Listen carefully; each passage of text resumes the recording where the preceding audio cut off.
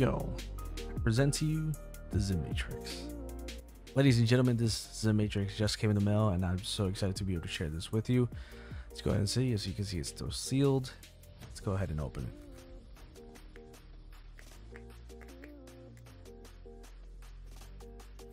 All right, so in this little package, you get. Here we go. You. the Xim, dude, it's so tiny. Look at it. Such a little tiny device. Let's go ahead and take it out real quick. Get the Xim. You get the USB port, which is uh, USB C to a USB A, which is pretty cool. And that's pretty much it. Let's just put the box on the side real quick. All right. So let's take out the little Xim. Here we go, man. Look at this little baby. Dude. So you have the, I believe that's the, the two, which would be the keyboard input. Got the Xim top you, dude. Look at this. This thing is tiny, but it looks, it looks actually pretty flashy. I like the way it looks, man. So far, so good. I'm excited to use this, man. You have the back part, which is the USB-C connection. You have the Ethernet port, and you have the controller aspect part. And this one is, of course, for your mouse. Just uh, one little dot.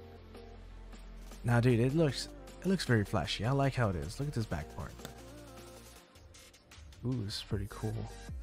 You know, one thing I'm seeing, I, mm, this. You see this right here?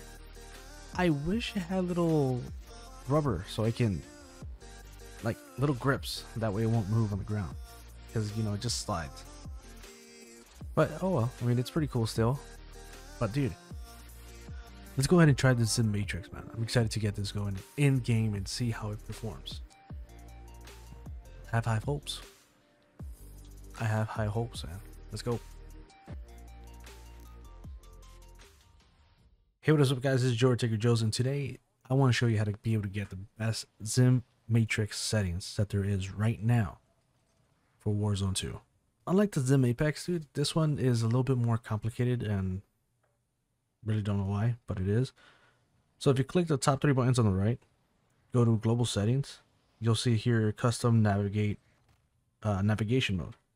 Here, you're going to have to do this first before you continue any further. You're going to do this, and you're going to set your navigation keys, whichever keybinds you want to put. But it has to be those two that you're never really utilizing, or a combination that you really don't use until now. So you're going to go ahead and click that, and once that's done, you're set to go. Then from navigate mode, you'll be able to click those two and go directly into just the regular mode. Now, one thing that I notice is that if you click where it says uh, where the green button is, you'll see her console connectivity or console connection, and you have the other one as well. Me, since I'm on PC, this is for the Xbox Series X, Xbox One, PlayStation 4, or PC. This is the one you're going to click and make sure that from standard, you're going to go all the way to 1000 if your mouse supports that. So go ahead and do that. Now that that's done, make sure you go ahead and click Force Game Downloads. All right. Now click the top three buttons on the right again. Go to New Config and type in Warzone. You'll see here Call of Duty Warzone and Call of Duty Warzone 2. You're going to click Warzone, choose the console of your choice. At this point, from what I've known and experienced so far, it still doesn't matter which one you use. As far as like, I mean, if you're on PC, use PC. If you're on Xbox, Xbox, PlayStation, PlayStation. Doesn't really matter. Sensitivity is going to work exactly the same. I'm on PC, so I'll go ahead and click PC.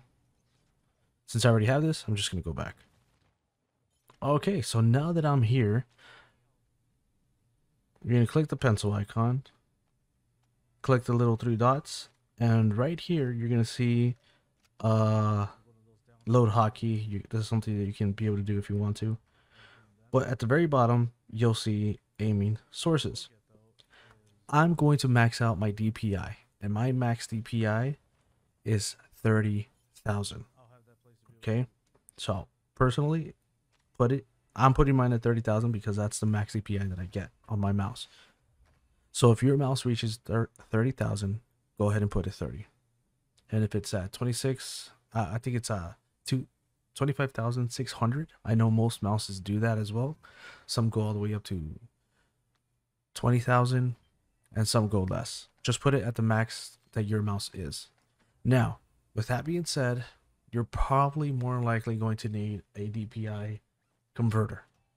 I'll show you that. I'll tell you what I mean later. But for right now, let's go ahead and continue.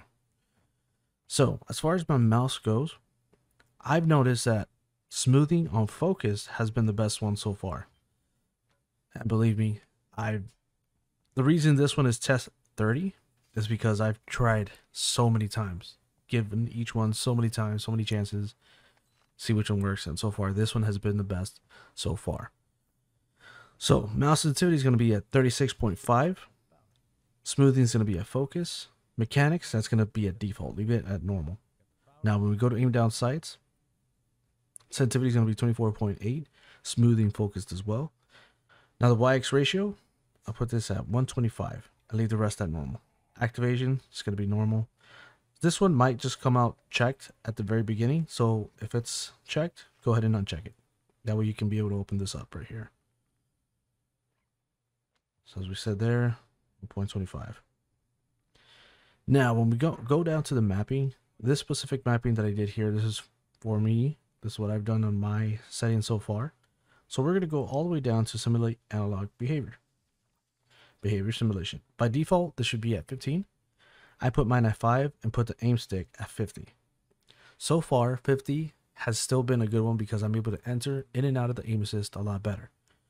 It, it still is sticky, like most people like, um, but you're still able to get out of the assist bubble pretty good. Now, if you want to go even lower, I would suggest go 35 because this provides even a better freedom when it comes down to getting in and out of that assist bubble. Don't go all the way down. Don't don't go at zero value. It's not gonna be good. Right now, if you want what I have, which is sticky settings, go ahead and go 50. But if you're a person that wants a little bit less stickiness and more freedom, go 35.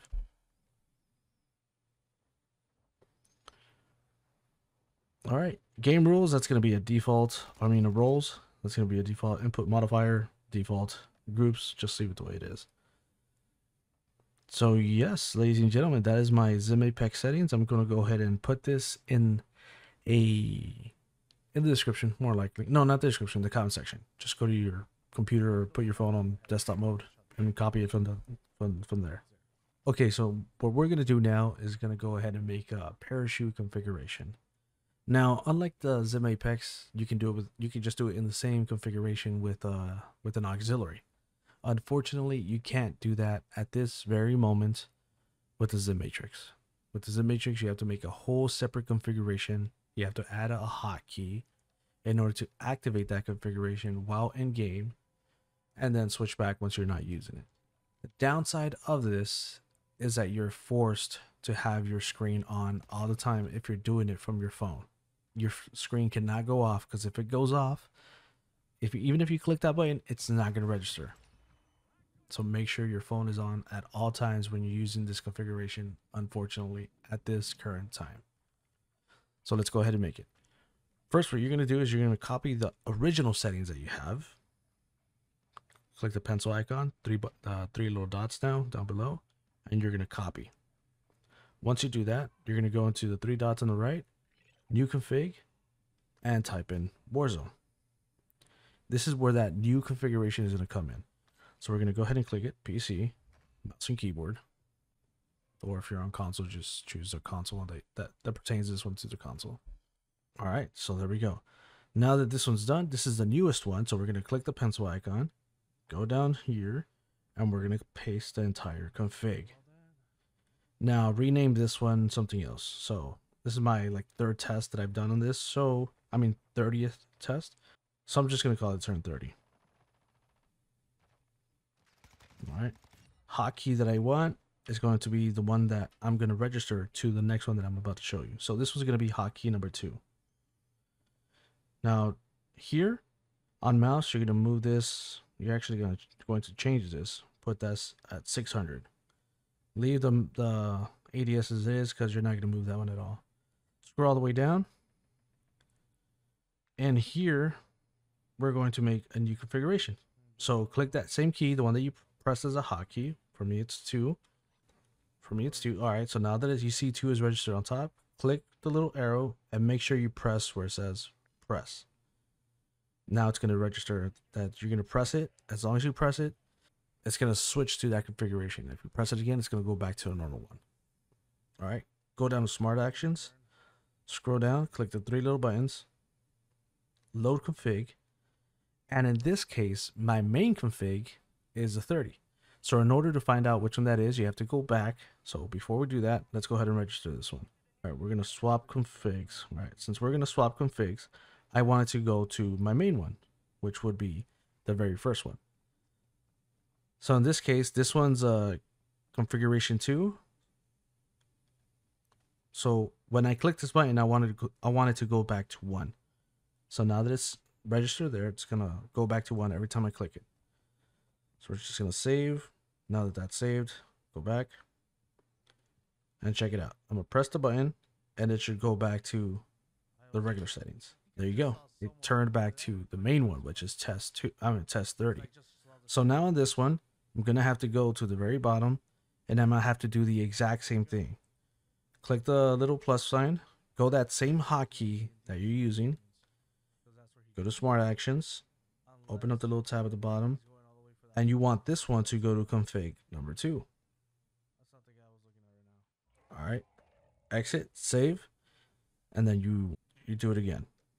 Now remember, on the main screen on this one, your hotkey has to be the exact same one that you clicked in order for it to go back to the other one.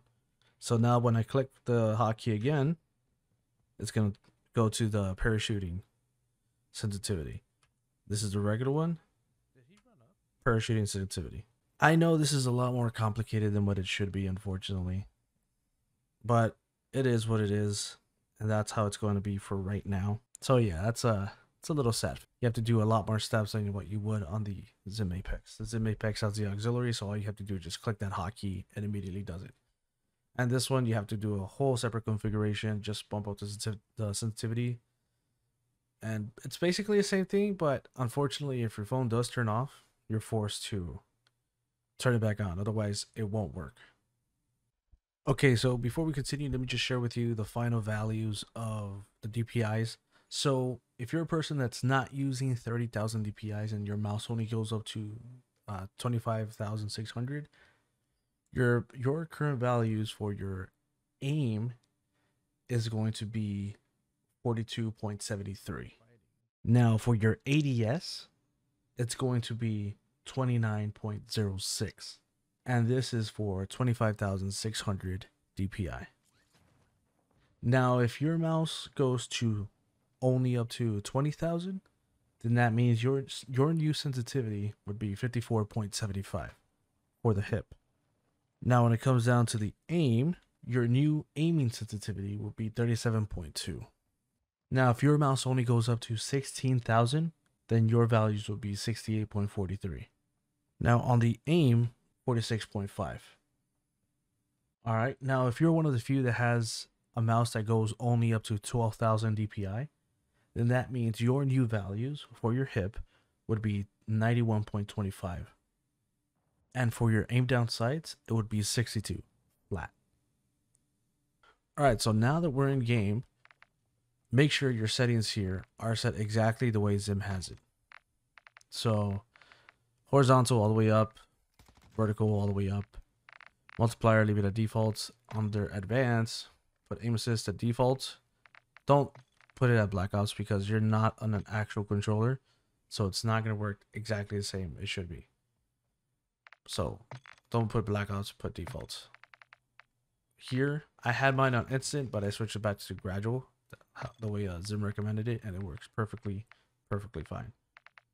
Now under the dead zones, make sure this is a 10, 10, 1, and 1. Everything else, leave it at default.